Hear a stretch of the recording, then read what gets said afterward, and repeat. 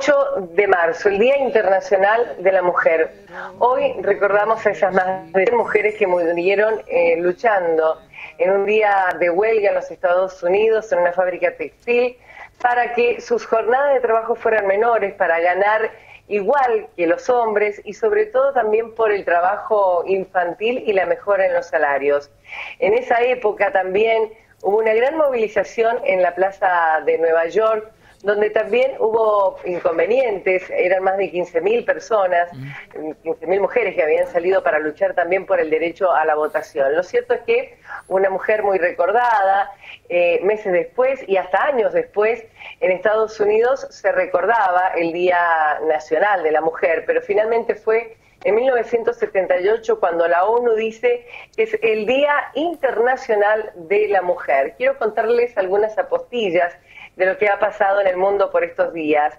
Por ejemplo, hace cinco días atrás se valló el centro de Madrid, sobre todo el Palacio Nacional, lugar donde se encuentran los muros por la paz. Lo cierto es que en ese lugar se habían prohibido todo tipo de manifestaciones y sin embargo en la madrugada aparecieron carteles con el nombre de mujeres en blanco, escritas en blanco, fallecidas por violencia de género. Algo similar pasó en México, donde no estaban prohibidas las protestas, pero sin embargo también amaneció en la madrugada de hoy llena de carteles, sobre todo justamente luchando por la violencia de género. En la Argentina se van a realizar, al igual que en el resto del mundo, distintos tipos de conmemoraciones. En algunos casos, algunos pequeños grupos dentro de los colectivos han pedido que la actividad sea virtual para evitar justamente el problema del COVID, motivo también que no dije recién por el cual se prohibió la marcha o manifestación en Madrid, que finalmente terminó con estos carteles. Por ese motivo, en Buenos Aires, a las 5 de la tarde, el principal centro de reunión va a ser en la Plaza de Congreso.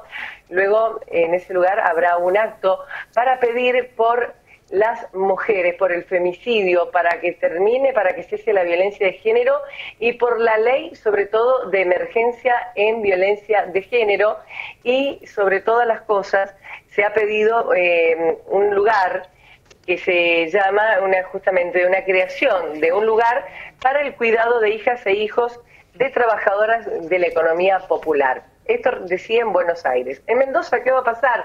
A las 18 se van a reunir los colectivos de Mumalá y Ni Una Menos en el kilómetro cero. Luego van a caminar por las distintas calles mendocinas hasta la Plaza de Independencia, donde habrá un acto.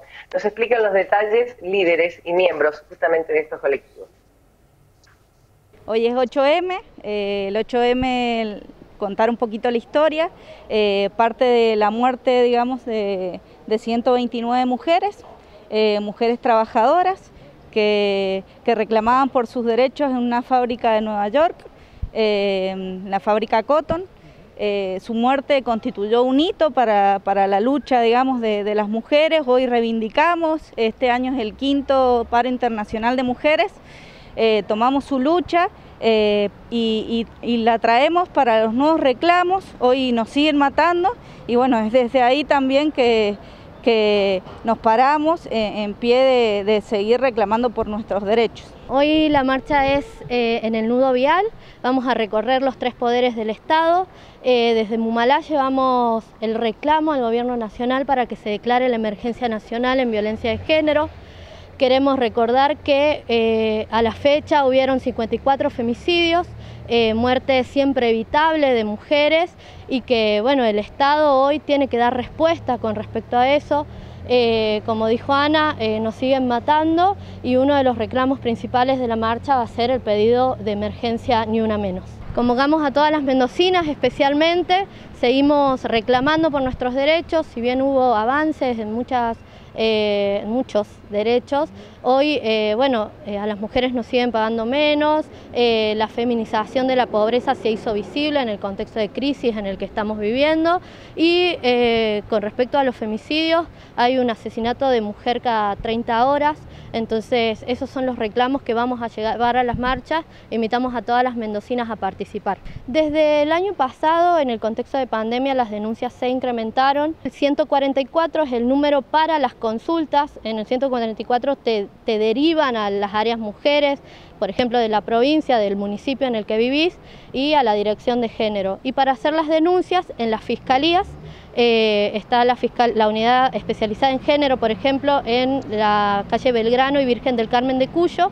Ahí pueden hacer las denuncias las mujeres que, que necesiten denunciar y las mujeres para pedir ayuda en las áreas mujer municipio o en 144.